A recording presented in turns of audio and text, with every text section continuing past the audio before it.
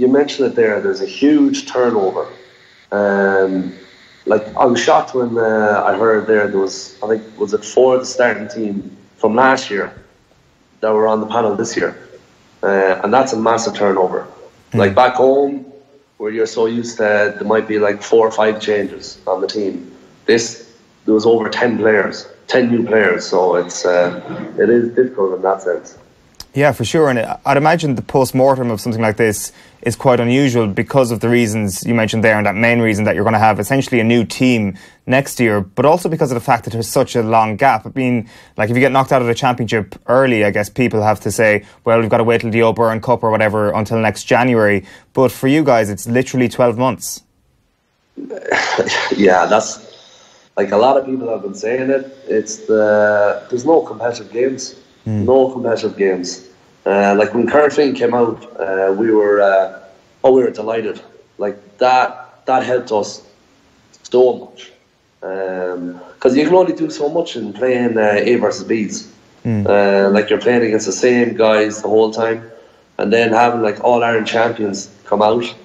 Um, I know it was a holiday for them, but they did like they gave it everything when they played us, and like I can't thank them enough for what they did for us. Yeah, it, it, seems that the appetite is never going to be an issue when it comes to New York GAA. There's been people who always moot this idea that potentially New York should be inserted into the National League, and obviously there's logistical issues with that as well. But if you look at that Corofin match you mentioned there, like there was a huge hype around New York, I understand, for that, a challenge game. It was, uh, yeah, I think um, over the last few years where New York have been so close in um, basically pulling off a big upset. Um, it's just getting closer and closer. Like it will happen eventually. Mm. Um, and I think yeah, there is that anticipation from everyone out here. Like um, I was constantly getting phone calls the last few weeks. Uh, Tom, like, how are you doing? Uh, such a player playing? Is that player playing? How are you doing in training? Like, there's a lot of people they ex- they're expecting us to pull an offset, uh, pull uh, an upset uh, in the not too distant future. This year now was very professional. Like the guys were, the management did. They tried to go that extra mile. They were doing different things. Like say, I know in the past where uh, just talking to different guys, the training it wasn't really. There was guys missing training the whole time. It was definitely different now the last couple of years. So, just in terms of clamping down on people who are missing training sessions and kind of getting a, camp into kind of a, a, team mentality, is it in the weeks leading up to the game? Oh yeah, one hundred percent. Like training, training was very tough. Uh, like people think it's uh, it's soft coming over here, uh, but training was tough, and I think that's what guys loved. They loved that challenge to be able to go through that tough training. Uh, like guys it's normal to work 50, 60 hours a week over here. And then to be able to train in the evenings, it's uh, it is a bit of a challenge. Mm.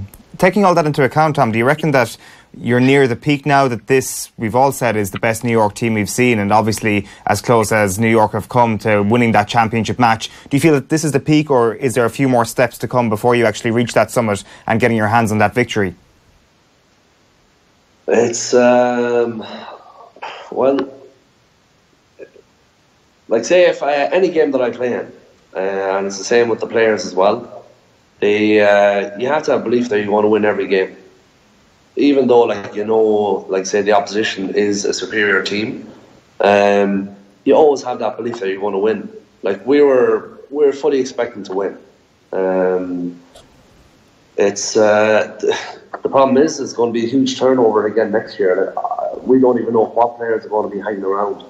Um, so it's it is a bit of a mystery. So I, it's hard to say if we're at, at our peak. Um, this is just one year. It's going to be completely different next year.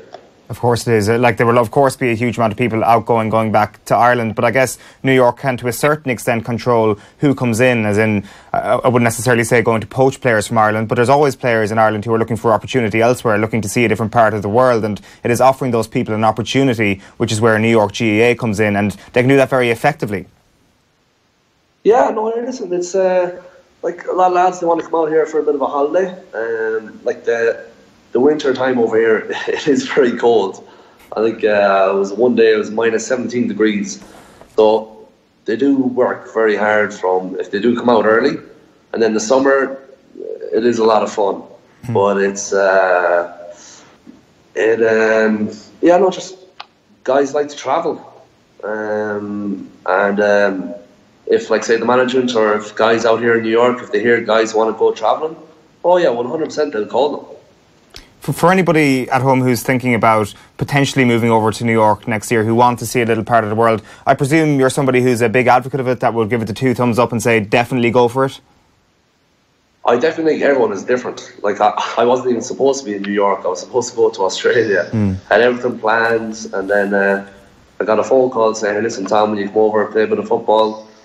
And I said, "I have no interest in playing football anymore," and uh, I said, "Just come out for the summer." After about uh, came out one of my uh, club mates from back home, and after about I think it was a two or three weeks, we said uh, we better apply for our visa. Do you ever wish that you made the move sooner? Uh, no, no. I uh, I had a good time with uh, had a good time back home with Mayo and uh, with my club. No, no, no regrets at all.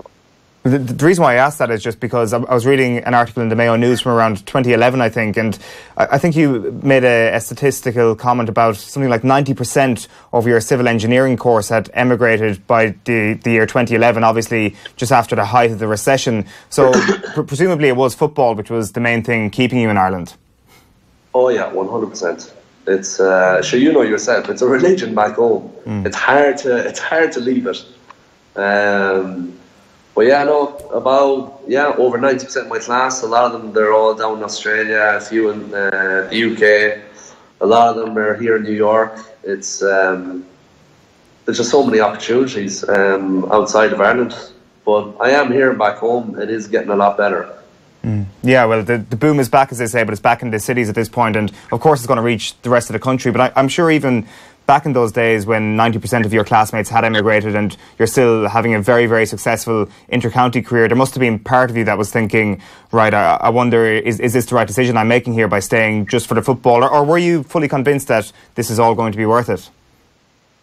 It was, um, like I said, it's hard to leave the football. Mm. Like it's, um, like back home, uh, not even just Mayo, but just people, the Gaelic, the football, it's it's a religion. There's just so much passion, and then uh, I know some people are giving out about the way the football has been played, but you get so many great games during the year. It's um, it, like I've been showing, um, I've been talking to people over here in New York and Americans who have never seen the game before, and uh, you show them clips and they're just in awe of the sport. They uh, they think they think we're crazy. They think the hurlers are crazy anyway with the sticks. Mm. um, just, just briefly before we move on to Sunday's game, like, what's the thing you miss most about being a Mayo footballer, and do you think we'll see you in, in the red and green again? Oh no, no, I don't have it in the legs anymore. it's um, just it's uh, it's a it's a challenge. Like it's um, like, like life is very difficult sometimes but I look at these, uh, like say, I brought it up before, triathletes, bring up uh, marathon runners. I always say to myself, why the hell do they do it? It's um, it just makes no sense. But it's all about the challenge. Like back home, playing with Mayo, playing with my club, it was the train was very difficult. But it was once you got through that, it was it was a great feeling knowing that you were able to do that, and um, that you're able to compete against other people it was um, yeah, it was the challenge that was enjoyable. Mm and presumably it all comes to be comes to fruition and it's all worth it on a weekend like this. May 13th has been a date that's been in all of our diaries, even from a neutral perspective, since the very start of the year. It's a huge game in McHale Park, one that somebody like yourself, I'm sure, has uh, enjoyed playing in, and, and, as we've just mentioned there, it's when all the training is worth it. What's your thoughts about this game? I mean, Galway have almost got an upper hand in this rivalry over the past couple of years, but again, what we've seen with Mayo over the last two, three years is that you can never write them off. But as I just said, it's early in the year. Is it too early in the year for Mayo? It's um, this is a difficult one. Difficult one. Mayo and Galway. Doesn't matter who's in form, who's not playing well. It's always a flip of a coin. Mm. the rivalry between Mayo and Galway, it's always. Um, I know Galway do have had uh, they've had the upper hand on us now the last few years, but it's been right there. It's been so close every year. Um, I think it's going to be the same this weekend.